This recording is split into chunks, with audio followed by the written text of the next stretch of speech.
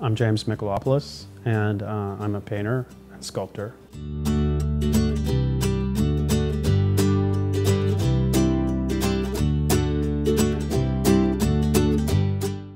So New Orleans was, um, you know, a, a, a, place that held an allure to me, uh, you know, a romantic, I had a romantic idea about this and I said, what the heck, I'm gonna give it a try. So um, I actually hitchhiked down here and uh, started to um, do some sketches, you know, on the street uh, is where I began my work.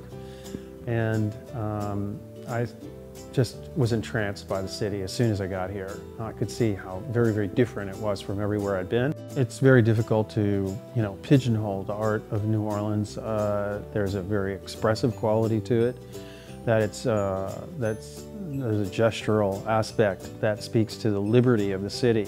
For a long time, I think in a way, uh, it was a great school for me. Um, you know, there's a lot of art being made on the streets, and I, I found my way to Jackson Square relatively quickly, and there were 100 artists working outside on their projects.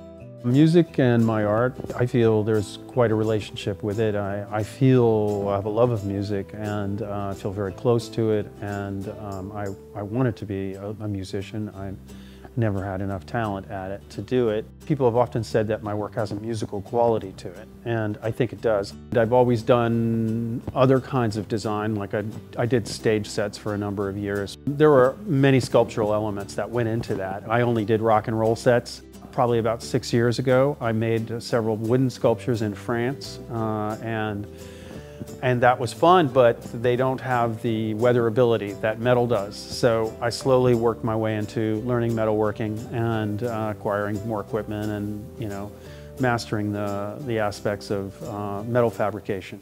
Okay, right here, what you've got is... All right, I'll do that real. for... It's got different complexities than painting. Uh, is it more dangerous? Yeah, it is. Um, there's fire, there's heat involved. There's gases, um, there's a lot of light, you know, very blinding light that you have to protect yourself against. So there are safety issues that you have to address. If you don't do that, you can't, you can't play.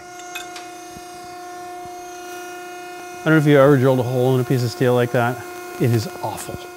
I feel that I allow myself to fully experience what's in front of me and to take me where it goes. Uh, in a sense, you know, I'm a victim of my inspiration.